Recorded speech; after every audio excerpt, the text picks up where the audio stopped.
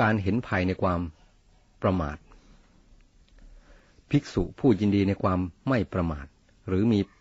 ปกติเห็นภายในความประมาทยอมสามารถเผา สังโยชน์น้อยใหญ่เสียได้ เหมือนไฟเผาเชื้อน้อยใหญ่ให้สิ้นไปฉะนั้น อธิบายความ สังโยชน์นั้นคือกิเลสเครื่องผูกมัดสัตว์ไว้ในโลก หรือในวัฏสงสาร เหมือนเชือกผูกสัตว์ไว้ มิให้ดินออกไปได้ ท่านจำแนกสังโยชน์ไว้สิบประการ และอริยมรรคเป็นธรรมเครื่องเผาสังโยชน์นั้น ตามลำดับชั้นดังนี้หนึ่งสกายทิฐิ ความเห็นผิด ยึดมั่นสังขารร่างกายว่าเป็นตัวตน หรือเห็นตัวตนอยู่ในขันห้าสองวิจิกิจฉา ความสงสัยในคุณพระรัตนตรัย สงสัยในทางให้ถึงนิพพานสามศีลพัตะปรามาตการรูปคลำศีลวัด คือการรักษาศีลบำเพ็ญวัดเพื่อจุดมุ่งหมายอื่น มิใช่เพื่อความบริสุทธิ์ เช่น มุ่งสรรเสริญ มุ่งลาบสการะเป็นต้น สังโยชน์ทั้งสามประการนี้ พระโสดาบันละได้ โสดาปฏิมักสามารถเผาสังโยชน์นี้ได้ 4. กามราคะ ความกำหนัดในกาม 5. ปฏิฆะความงุนหงิด ความรำคาญสองประการนี้ อนาคามิมักเผาได้ ส่วนสกทาคามิมักนั้น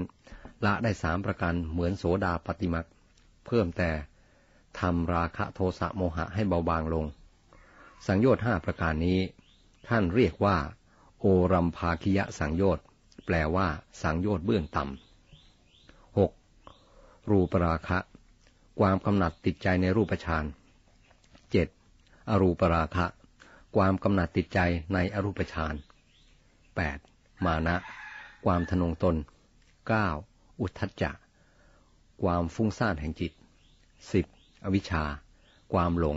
ไม่รู้อริยสัจตามเป็นจริง ทั้งห้าประการนี้ท่านเรียกว่า อุทธรรม ภาคิยะสังโยชน์ แปลว่าสังโยชน์เบื้องสูง อรหัตมรรคเผาได้ ผู้สามารถเผาสังโยชน์ทั้งสิบประการนี้ได้ เป็นพระขีณาสพผู้สิ้นอาสวะ บางทีพระผู้บำเพ็ญเพียร ได้มองเห็นสิ่งใดสิ่งหนึ่ง เช่นไฟไหม้ป่าแล้วสามารถนำสิ่งที่ได้เห็นนั้น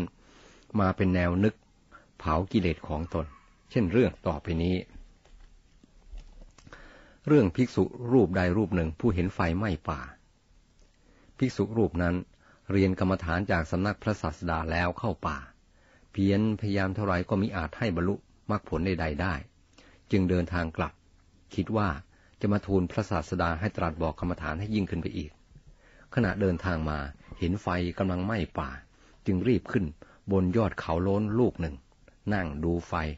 ได้อารมณ์เป็นแนวนึกว่า ไฟนี้เผาเชื้อน้อยใหญ่ให้พินาศไปฉันใด ไฟคืออริยมรรคยานก็จะพึงเผาสังโยชน์ทั้งหลายให้สิ้นไปฉันนั้น พระศาสดาประทับนั่งในพระคันธกุฎีทรงทราบวาระจิตของภิกษุนั้นแล้ว ตรัสสนับสนุนว่า ถูกแล้วภิกษุสังโยชน์ทั้งหลายทั้งละเอียดและหยาบ อันอยู่ภายในของสัตว์ทั้งหลายดุดเชื้อเพลิง ควรเผาสังโยชน์เหล่านั้นเสียด้วยไฟคือยานทำให้หมดไปสิ้นไปไม่เกิดขึ้นใดอีก พระศาสดาทรงเปล่งพระพระรัศมีไปประหนึ่งว่า ประทับนั่งอยู่ตรงหน้าของพิสุนั้น พลางตรัสว่า